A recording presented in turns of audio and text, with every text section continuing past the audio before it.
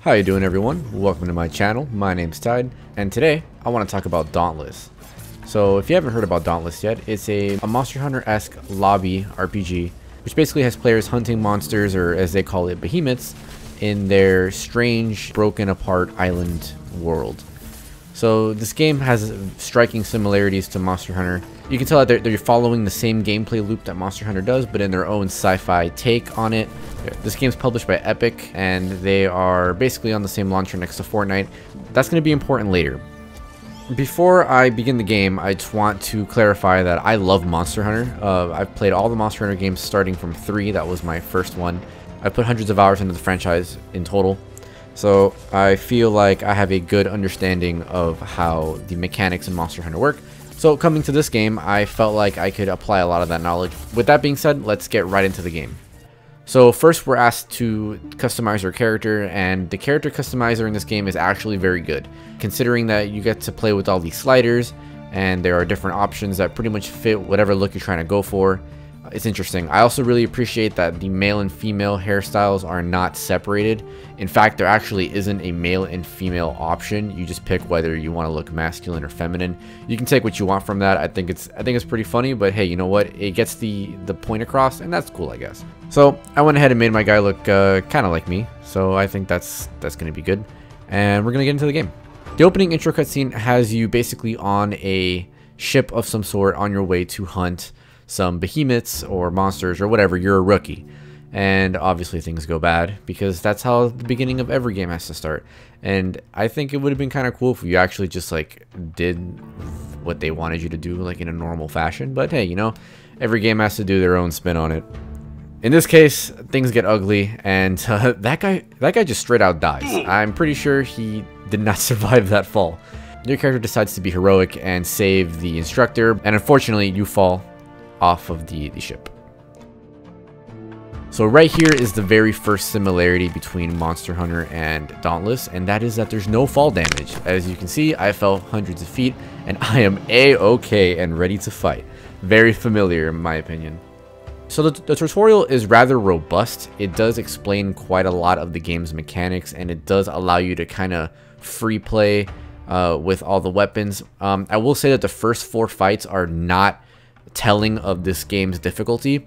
The lesser behemoths that you fight are incredibly easy. In fact, I'd say that they're near brain dead. But this is good because it allows you to play with the weapons and the actual playstyles that the weapons come with. I decided to play around with what I thought was familiar. I'm a greatsword main in Monster Hunter, so I went with this great axe. And lo and behold, they're exactly the same. It plays the exact same way. It's pretty straightforward. I can't really complain too much about it, but it is pretty much a carbon clone of the Monster Hunter Greatsword. Acquiring new weapons and gear is actually pretty easy, in opposed to Monster Hunter where you're farming constantly for specific pieces. This game is a little bit more lenient with allowing you to make the armors and weapons, at least at the beginning it is. After I played around a bit more, I actually fell in love with the hammer in this game, which is honestly very cool. I like the, they kind of mix the gun lance and the hammer and it creates this really interesting like bullet using hammer that you can like propel yourself in the air like do these big blasts and it feels good. It feels very mobile and I can definitely appreciate that especially because I'm really a fan of defensive playstyles. So the first monster that actually poses a challenge is called Skarn and this is where I quickly realized that finding the monster like locating it like the actual hunting part is very very bland you just kind of walk around to the areas where you would assume that you would come into contact with these monsters and they just kind of appear and then you shoot up a flare to let the rest of your party know. It's very straightforward, but it honestly when the monster runs away, which Skarn is the first monster to run away, it's really dumb trying to track them down because they don't give you any indication of which direction they went. They just have the rest of the group running around. The game does feature a battle pass, uh, I mean hunt pass, very similar to Fortnite. It's almost exactly the same where you get items for free and if you pay for the for the battle pass, you get the exclusive item. They're mostly cosmetic, but it's uh it's still there and it should be noted in this video. A very strange thing happened to me. I decided to go up against this next monster who was kind of like an owl bear thing, which I kind of think is really cool.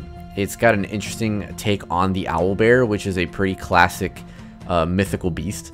And I, I couldn't find a party. Like, I queued for it, and it made a room with just me in it, and I waited the entire timer, and no one joined me. But you know what? I'm a Monster Hunter Pro. I've slain all sorts of things, and I thought, you know what? I'm going to slay this thing myself, too. But boy, boy was I wrong. This monster really gave me a run for my money, and it really taught me that this game definitely has potential. Like, despite a lot of it being very casualized, fighting these monsters on your own is very difficult. It makes me wonder if the monsters are even tuned to fight just one player.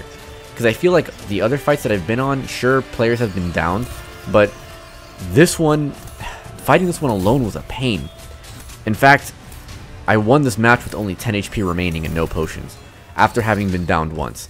It, it was it was difficult. It was definitely difficult.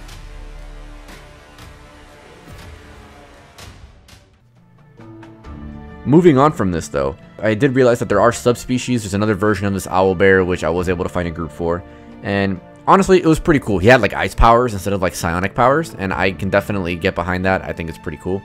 Resistance types are really important in this game as well. Make sure you're wearing the proper the proper gear to resist the monster that you're going up against is incredibly important as the monsters do a lot of damage and the amount of preparation you get is very very limited. You only have four slots for items opposed to your whole like satchel in Monster Hunter that you can like kind of fill up. So what is my verdict on this game? I personally feel like this game is an interesting take on the Monster Hunter style of gameplay where you group up with friends and you fight these behemoth monsters in hopes of getting new gear and new weapons to help you conquer even stronger monsters. A very important thing that's missing in this game, so certainly a con, is that the game doesn't feature a living, breathing like environment, kind of like Monster Hunter does, where you feel like you're surviving in a forest or on a mountainside. Where here, it's like every like all the islands are broken apart, and you kind of just land on these shattered floating islands and it makes little sense to like how are these things a threat to the city can these monsters really leave these areas like can they jump or like can they traverse these like floating islands because we need ships to get out here it does really like detract from the experience overall i thought dauntless was a pretty good attempt at the monster hunter style considering i can't really think about another game that's done this style verbatim. Dauntless does a pretty good job of bringing that experience to like a very casual market. And even though it does take a lot from the Fortnite Battle Pass and the kind of drop in, drop out, quick 20, 30 minute gameplay, it it still has its own charm to it and I have to respect that. I personally won't be playing it very much after how much I played it for this video, but I can't argue that it's a bad game. I don't know how, how much harder the game gets, and once you unlock like the bigger behemoths, the game does get considerably more fun. I will certainly be keeping an eye on it. Hopefully some updates will bring more weapons and more styles of, of things to do. But until then, if you like this video, give me a like, give me a sub. If you uh, like my content, I'm going to be making more content like this. Thanks a lot. You can follow me on, uh, on Instagram. And thanks a lot, everybody. Have a great day. Peace.